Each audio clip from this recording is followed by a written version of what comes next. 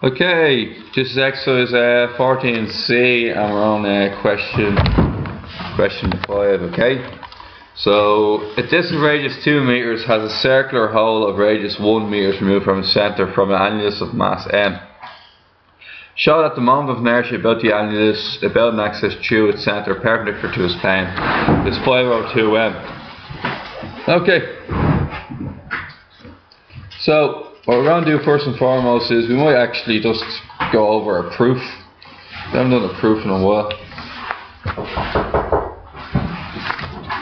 Oh, we don't actually have to do the proof. It's actually this annulus to set the roll from rest down the slope. Okay? So, what we're doing here is, right, we got our annulus. That's a rectangle, obviously. Uh, there's the first one. The second one. So that's our annulus there, okay? Now, what we're going to do is we're going to set the big, big R is going to be 2. So.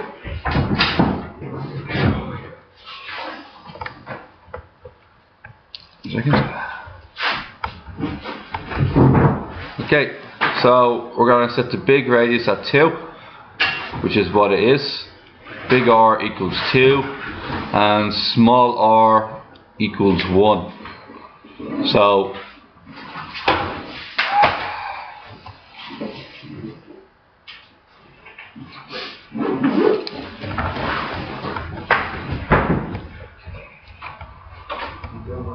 Okay.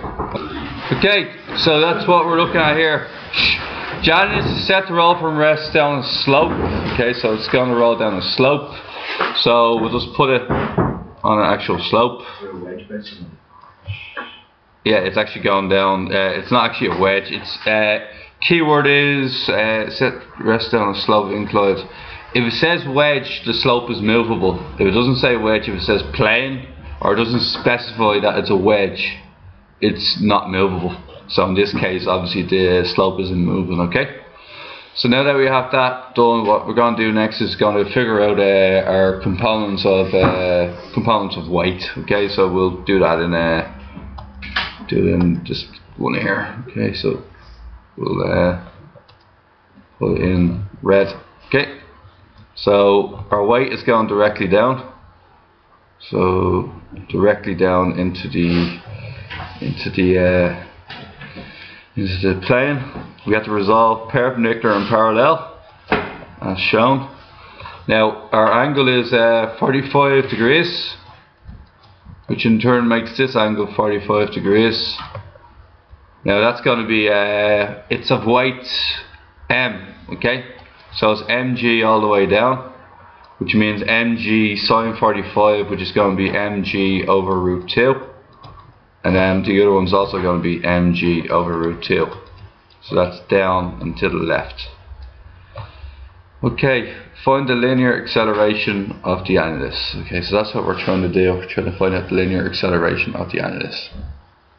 Okay, the formula we always use is gain in KE equals loss in PE. Gain in kinetic energy equals loss in potential energy. Okay, and what we're going to do here is uh, we have to figure out there's a length uh, S, okay? And if you're to look at the length S, S is how how far it's going to actually roll down roll down the hill. Okay, so that's S there. But what we need to find out about S is we need to convert S into H. So if you imagine S being the hypotenuse and this being 45, okay, this being H, then we know that sine 45 equals uh, h over s. This means h is s over root 2. s sine 45 is s over root 2, so just remember that, okay? Next thing, gain in kinetic energy equals loss in potential energy. So we're going to do is a half mv squared uh, plus a half, its uh, rotational energy is going to be a half inertia uh, omega squared, which is angular velocity squared, equals loss in PE, which is mgh. Okay, let's convert them over. So we're going to have a half mv squared plus uh, a half. Now, what does it say the inertia is? 5 over 2m, yeah? Inertia is 5 over 2m. Change omega. Omega is phi over r. This makes omega squared phi squared over r squared. It says you have to show that the inertia is 5 over 2m. Uh, Let me it. this is, plane is 5 over 2m.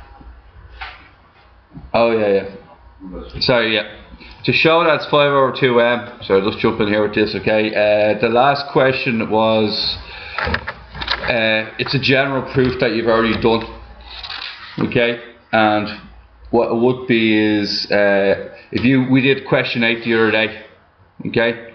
And question 8 means it's a half capital R squared plus small r squared.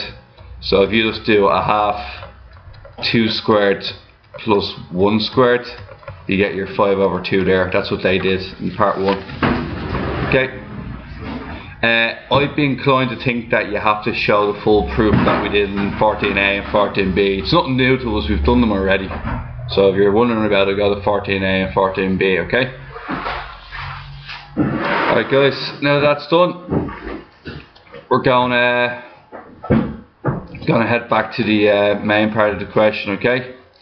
Now the main part of the question is uh, this here equals uh, mg, and we're going to change h into s over root 2.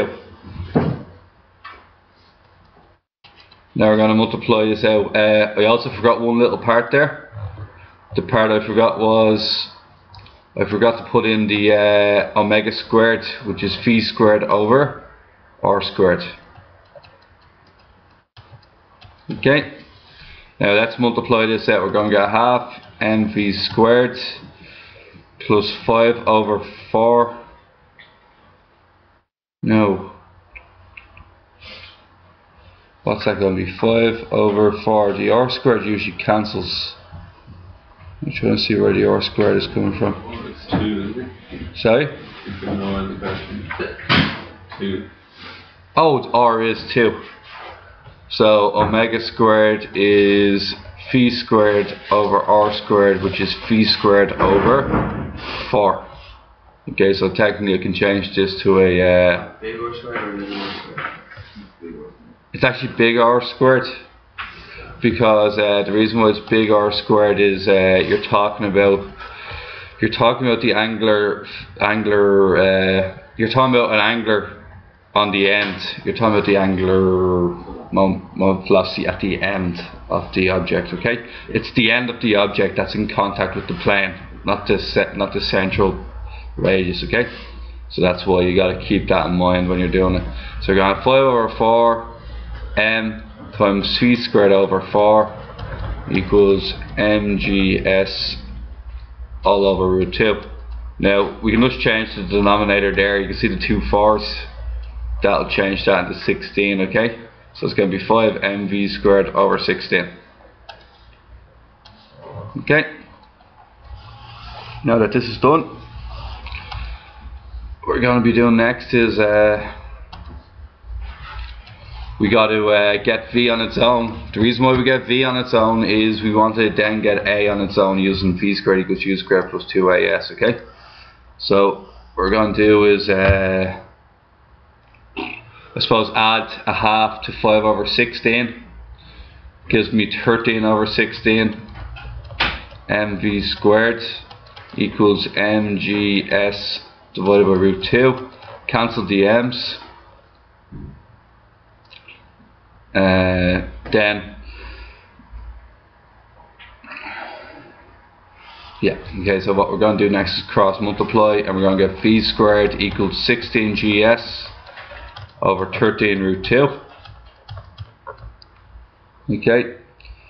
And 13 root 2 and we'll just leave it as v squared. Now the reason can I tell me why I should leave it as v squared? Because to find a remember these questions step 1 find b. Step 2 find a. And the equation we always tend to be using is v squared equals u squared plus 2as that's why it's a good idea just to leave it in terms of v squared okay So we're going to get 16 GS over 13 root 2 equals u squared, which is 0, because it starts off from refs.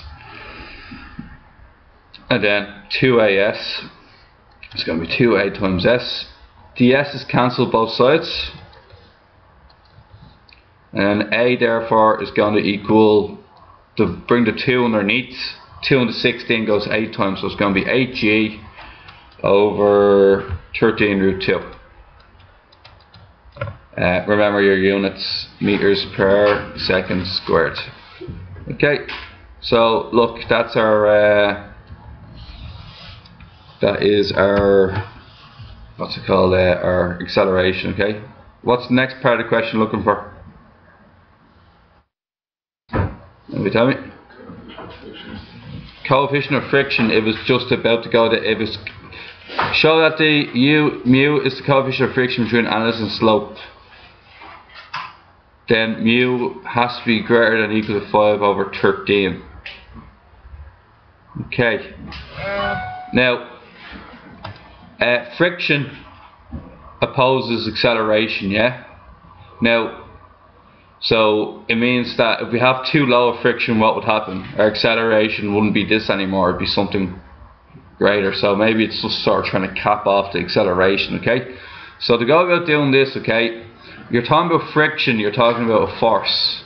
So remember that friction equals mu times R, or mu n, the reaction force. So that means to get this sorted, we need to look into a force equation, okay? Now, F equals ma, okay? And ma will equal weight minus friction. Now, remember that our acceleration is going down the slope, weight is going down the slope, friction opposes the motion going up the slope. That's why we set it up like that. MA is going to be M times, uh, I'm just going to put an M in here. So this is basically 8, 8 mg 13 over root 2, okay? 8 mg 13 divided by root 2. Okay, its weight is the component going uh, down the hill. So if we go back to the top, its weight is mg over root 2. And friction. We have to find the reaction force. So if we go back up to our triangle, the reaction force is the one that goes, technically speaking, it's going it's going up through, it's the one that's supporting the uh, the annulus. And it's in direct it's directly opposed to weight perpendicular to plane. So it's mg over root 2 as well. So it's going to be mu mg root 2 mg over root 2. So mu mu r r is mg over root 2. So it's going to be mu mg over root 2. Lucky for us, the root 2's cancel both sides. The m's will cancel.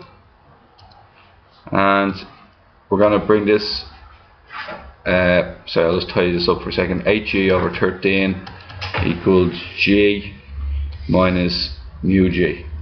Okay? I think we can figure it out from there can't we? 5g over 13 oh yeah so 1 minus mu equals 8 over 13 uh, mu therefore is 5 over 13. Okay, so when the annulus is on the point of slipping, okay, your force is weight minus friction. Okay, now what happens if uh, what happens if friction is a bigger number than sorry friction is trying to think now. The question states show that mu is the coefficient of friction between the annulus and the slope. Uh, I don't. Show that mu is the coefficient of friction between the annulus and slope, then mu is greater than or equal to 5 over 13, okay? So we're just after proving that mu equals 5 over 13. We didn't prove it's greater than equal to 5 over 13, okay? So what it says here is, this is the least value of mu that will prevent uh, slipping. So what does it mean by slipping? So? The whole disc is kind of going down side to road. Yeah, it's uh, rolling, okay? Actually,